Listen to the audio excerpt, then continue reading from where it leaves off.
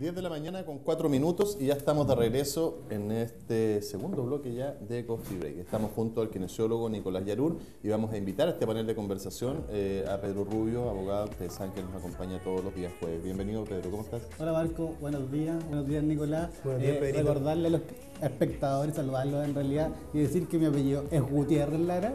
eh, y que estoy sentado aquí en este panel para evitar el bullying del rubio. Pedro Rubio. Es que está el otro panelista que viene ahora es Rubio. Es- Me confundo un poco, disculpa Y Pedro. esperar que ahora que estoy presente aquí no se Por cambiarte el apellido. estaban haciendo. Sí, bueno, la verdad, amigos, contarles que a quien estaba molestando un poco era al, al- al gran, al gran, Al gran Pedro. Gutiérrez, reconocido abogado acá en Chillán.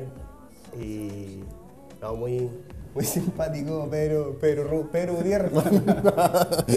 Pedro Rubio, Pedro Gutiérrez, sí, me equivoqué.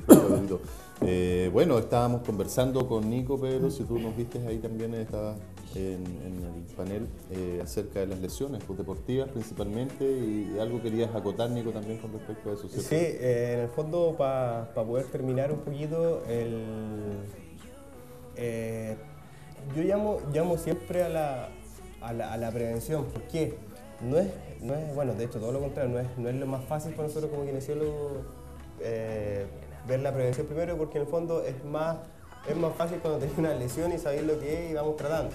¿ya? Pero Claro. aquí lo complicado y es lo, y es lo bueno donde, donde podemos discriminar un poquito nosotros es de ver cuáles son y por- qué razón llegué a esta lesión. Entonces por eso invito a la gente a que eh, cuando comience su práctica deportiva después de haber estado un tiempo sedentario, eh, que en el fondo vaya y empiece a, a- a realizar este entrenamiento progresivo con kinesiólogo. Yo lo recomiendo bastante ¿por qué? porque en el fondo estamos, estamos nosotros preparados para poder ver la, la evolución y la correcta evolución viendo balance y desbalances musculares. Entonces, entonces eso.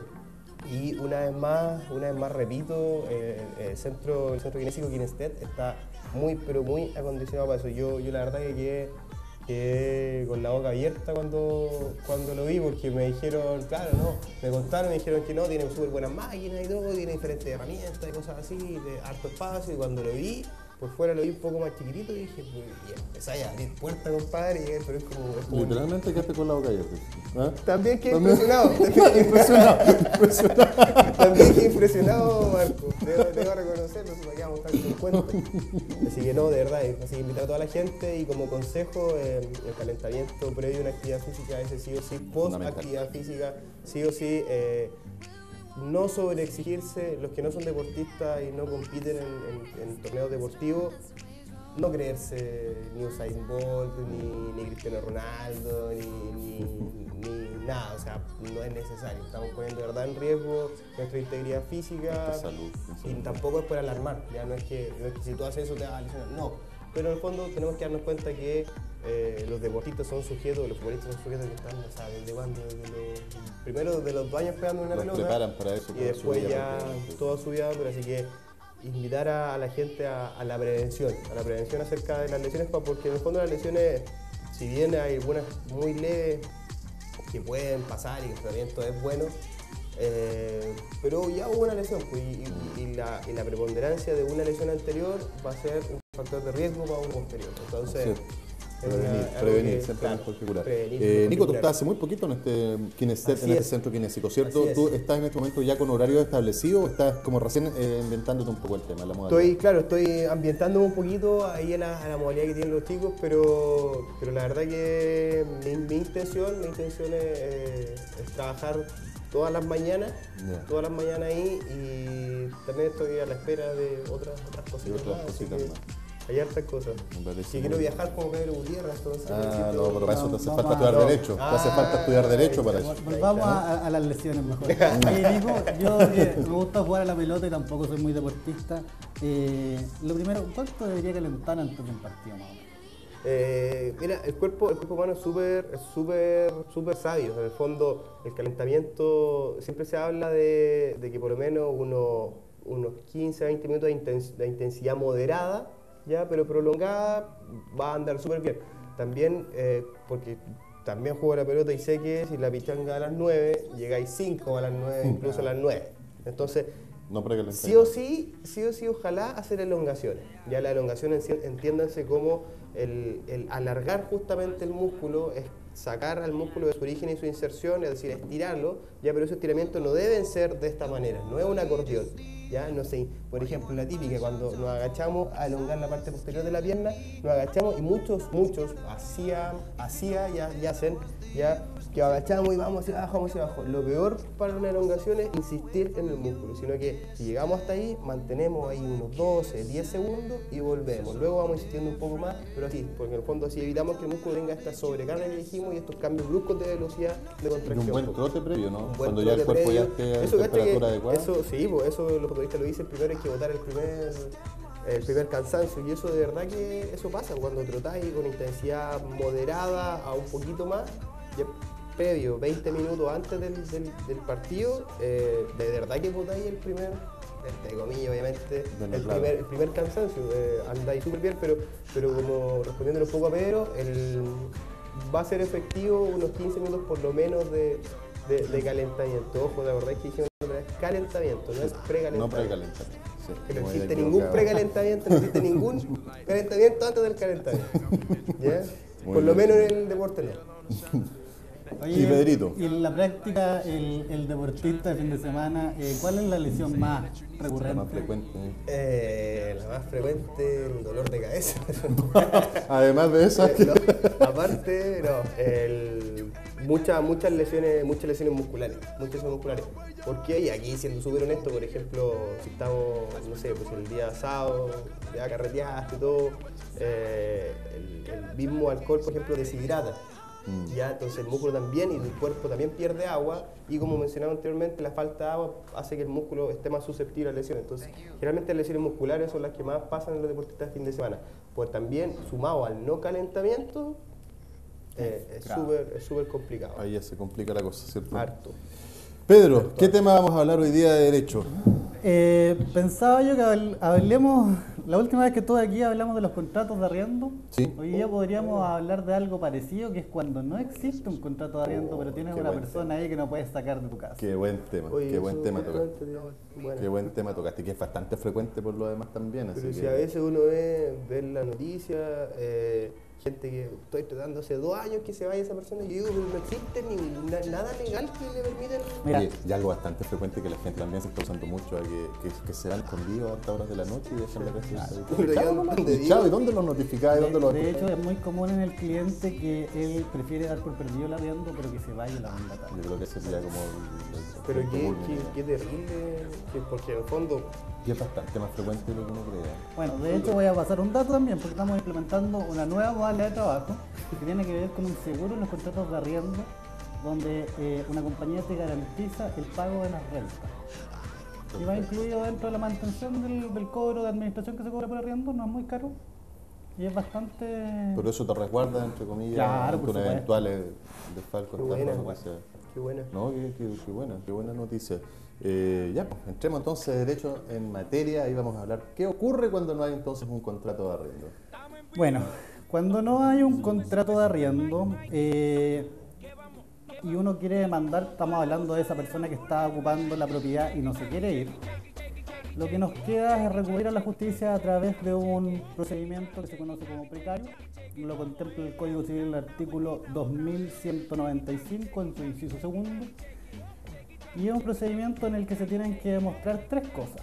Se tiene que demostrar que quien demanda sea dueño de la propiedad, que el demandado esté efectivamente ocupando la propiedad y que eh, no exista un título legal para estar ocupando la propiedad. Las dos primeras le corresponden al demandante y la tercera al demandado.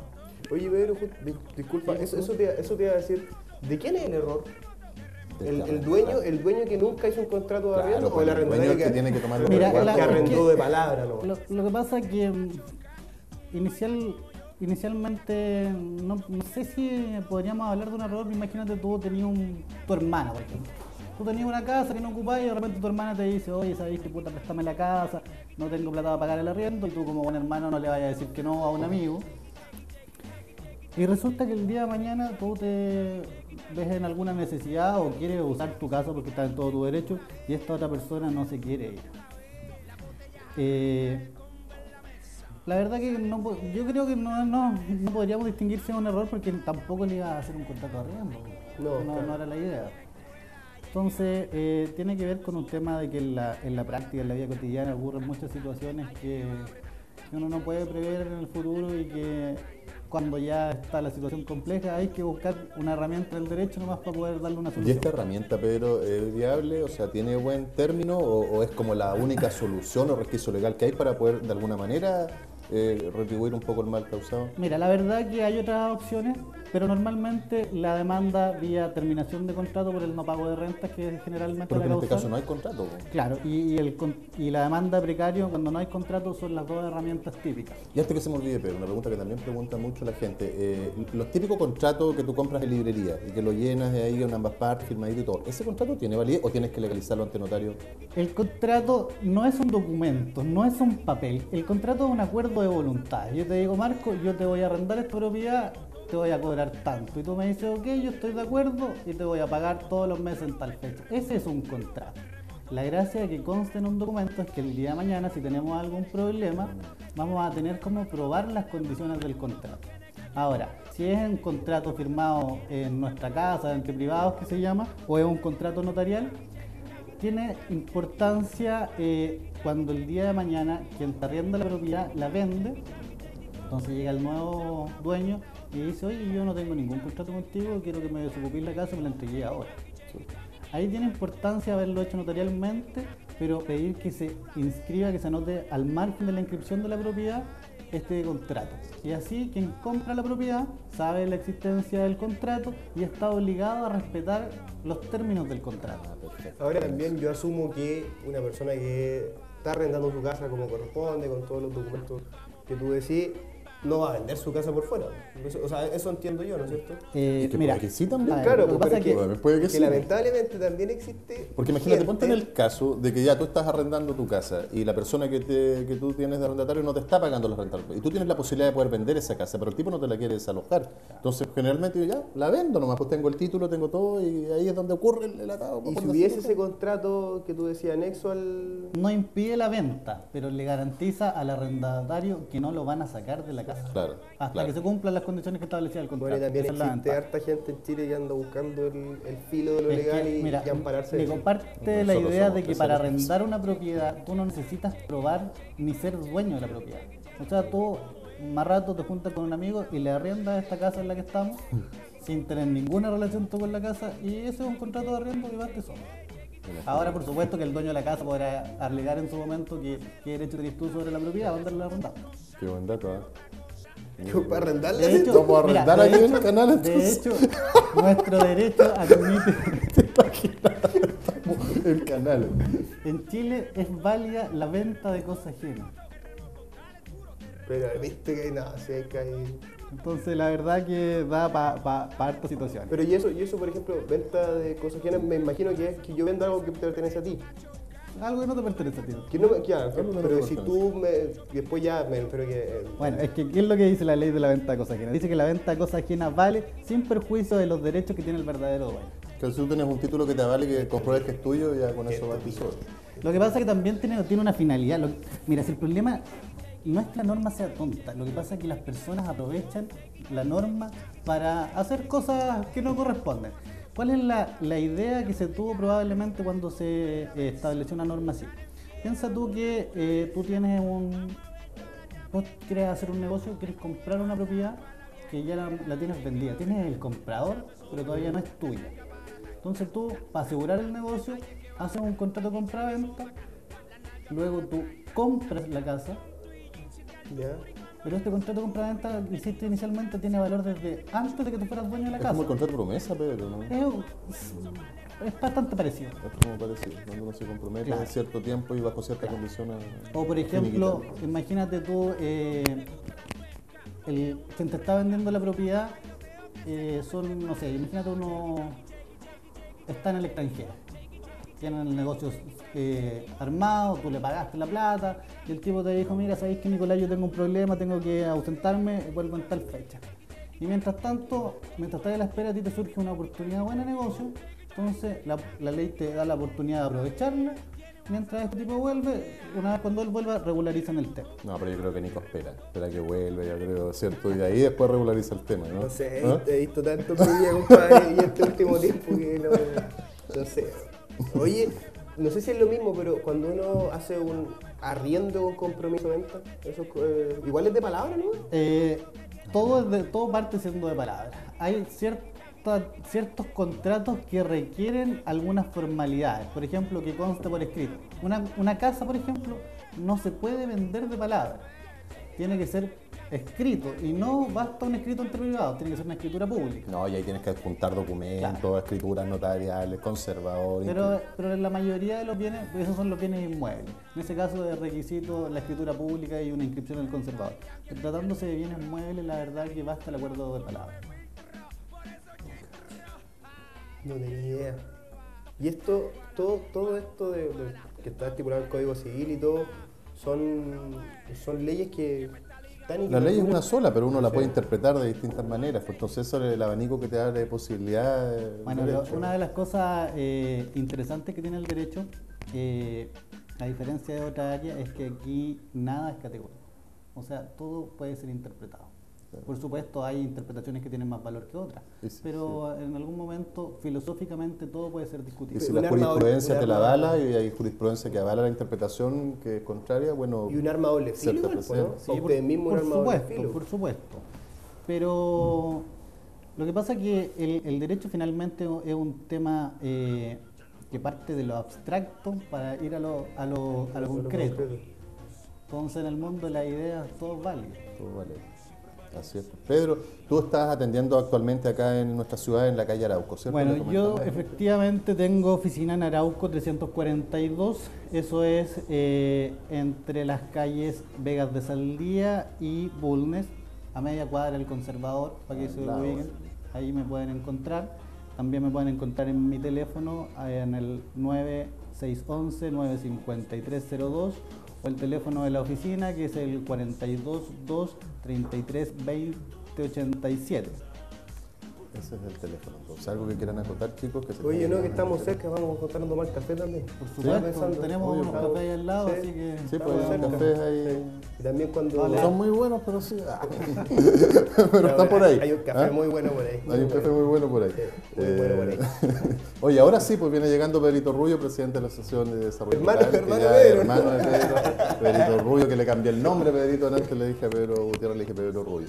Así que vamos a estar con él, obviamente, luego el siguiente bloque aquí en nuestro canal. Y yo les quiero reiterar que nos sigan a través de nuestras redes sociales. Recuerden que estamos con nuestro fanpage, nuestro Twitter, nuestro Facebook también, y principalmente en YouTube. Así que todos estos programas, todas estas conversaciones, todas estas entrevistas, ustedes las pueden reír ya durante el transcurso de la tarde a través de esa plataforma social. Yo los quiero invitar a ustedes, chicos, y también a todos los televidentes, a que nos sigan también a través del nuevo programa de televisión que va a debutar ahora, 31 de mayo, por nuestras pantallas. Se trata de Te Llevo Conmigo.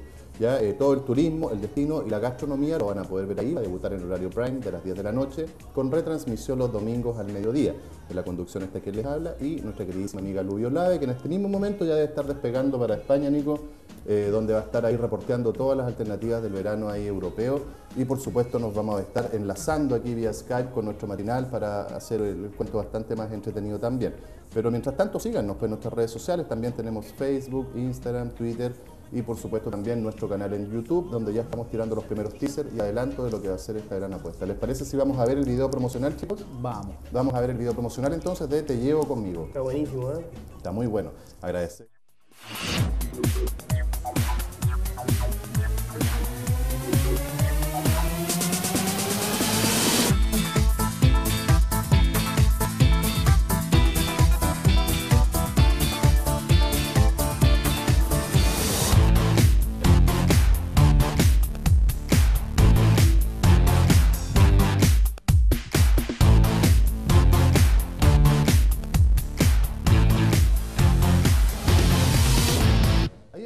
El 31 de mayo, entonces, a las 10 de la noche en punto, aquí en nuestro canal. Agradecemos, por supuesto, al Parque Las Nalcas, uno de nuestros auspiciadores, el restaurante El Puerto Buchupureo, que también se incorporó esta semana, y también Mundo Sacha. Así que muchas gracias a todos que nos están apoyando en esta gran eh, apuesta y en este gran desafío que es hacer eh, televisión. Nico, muchas gracias pues, por Muchas haber estado esta mañana junto a Muchas nosotros. gracias a ti, eh, muchas gracias a, a la gente también por escuchar y por eh, plantear sus dudas eh, a través de las diferentes plataformas que hay. Así que bien, recuerden el roble 1040 entre Independencia y eh, Hierbas Buenas. ¿Hierbas Buenas? Hierbas buenas puede ser, Creo. sí. No sé, yo para las calles soy matado. No, pero- no sé, pero pero ahí- al lado de qué nomás, al lado de a toda la gente, invito a toda la gente a que vaya, que, que se informe, que conozca el centro guinésico. Está bastante, bastante bueno. Así que lo invito también a ustedes, por supuesto, cuando quieran. Muchas gracias, pues Nicolás. Nos vamos a estar viendo, por supuesto, la próxima semana aquí con otro interesante tema de la kinesiología. Y agradecerte a ti también, pues Pedro, por haber estado junto a nosotros esta mañana. Gracias Marco, Eh, un gusto estar acá como siempre, la atención es muy buena aquí, Sí, bastante bien. para- Se pasaría, para- se pasaría. Eh, comentarle a la gente que si hay algo que les interese, que hagan sus comentarios para que lo podamos ver en otra oportunidad. Y espero que lo hayan disfrutado y nos veremos el próximo jueves, si Dios quiere. Y durante la tarde, porque ya va a estar el programa ahí en YouTube también para que puedan revivir lo que, lo que hablamos del tema del contrato de arrendamiento. Ahora ya sí nos vamos a organizar bien con los horarios porque se han incorporado nuevos panelistas también. Samuel Jiménez, recuerden, los días viernes, psicólogo, también va a estar junto a nosotros y ahí vamos a ordenar nuestro calendario para dárselo a ustedes a conocer junto con nuestra nueva programación. ¿ah? Viene un cambio Bueno. drástico de programación en Canal 21, nuevas seriales, nuevos reality show, nuevas teleseries, nuevos documentales, así que se viene, pero con todo este año, Canal 21 de televisión, el canal de Ñuble Región. Junto a Pedro y junto a Nico, entonces nos vamos a ir a una pequeña pausa comercial. A regresar estará Pedrito Rubio junto a nosotros. No se aparten de nuestra sintonía, ya regresamos con más Coffee Break.